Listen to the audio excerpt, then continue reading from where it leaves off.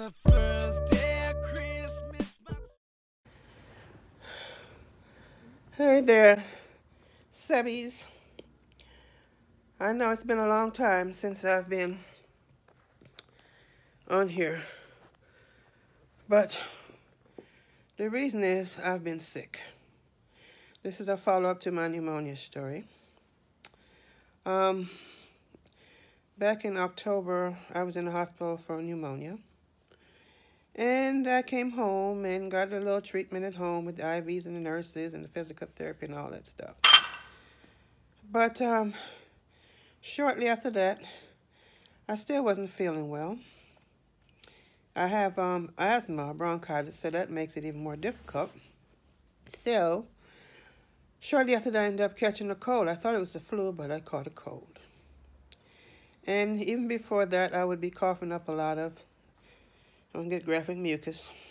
And um, I coughed so much that I thought I had cracked my ribs. It got so painful just to cough. Hey, say hi. I mean, it just completely hurts all around my chest area. So I went to the emergency room and they did x-ray. I didn't crack anything. And um, came home, they gave me some pain medication. And I did the breathing treatments and all the things that they wanted me to do. And um, I get, I get so out of breath so easily. Anyway, I did all that. But the coughing, the violent coughing, I don't know. It started with um, a tickling, like a dryness in my throat, which would force me to cough. And um, I would cough, and it happened so much that it just hurt. It hurts to cough.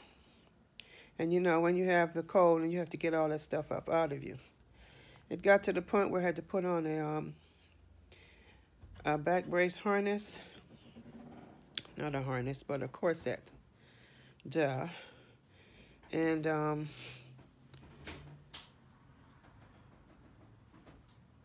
hold on, somebody's coming in the door. Anyway, I had to put on a corset and pull it real tight just to hold everything in tight just so I could cough. You talk about pain. Oh my God.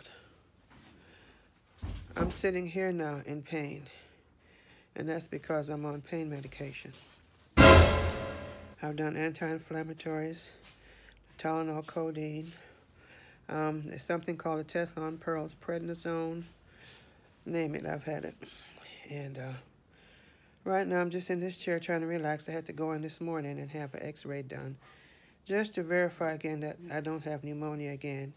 And um, that I haven't bruised any, cracked anything, but turns out I just bruised my muscles. Hi, buddy. Yeah. Say, say hi. Yeah, I bruised my muscles. So I have not been able to do anything with my hair. This is all I can do is just put in a ponytail and braid it up. So there has not been any hair videos in a while because when you're sick and have a cold, Last thing you want to do is wash your hair. Now, my hair is dirty. Now get ready for it. Look at this. I know I look like a hot mess, but this is it. Normally I would touch up my gray or wear a wash and go, twist out, but um, like I said, I have not been able to uh, do anything. So, and um, yeah. So I'm just laying around the house chilling, watching TV, just trying to relax. I have to sleep in an upright position at night. And, um, and it's difficult to sleep because once that tickling comes, I have to cough. I have to try to hold everything in it tight. I have that um, corset on tight and just brace for my brace and just let it go. And then I just try to moan and sometimes cry because that's how bad it hurts. So I'm going to attempt to try to do my hair before Christmas. And I might film it and I might not. I need to color it, deep condition it, and all that. And I'll probably go ahead and flat iron it again because I don't think at this point I want to mess around with the wash and goes because that is too much manipulation, you know, every three or four days, a week, whatever. It's too much washing. And it's winter time now. And with me being sick off and on like this, might not be a good idea. It's been about three weeks since I've washed my hair. I took a chance one day and went for it and hurried up and put, hit it with the blow dryer so I can get my scalp dried real quick. But one thing I haven't been able to do is deep condition. I didn't want to leave my hair wet too long.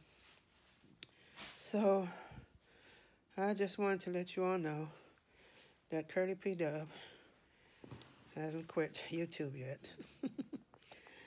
um, but yeah, I'll be coming back once I get back to feeling like a normal human being again. I'll be going back to doing my videos on this channel and doing possibly some DIY part. Look at this. It's my spoiled fur baby. Look at him. Yeah, my DIY projects on my P Dub Stuff channel. And uh, yeah, and I want to wish you all a Merry Christmas and Happy New Year. And you take care. Everybody take care, Yorkie. Yep. All right now, see you guys later. Bye. On the first day of Christmas, my true love said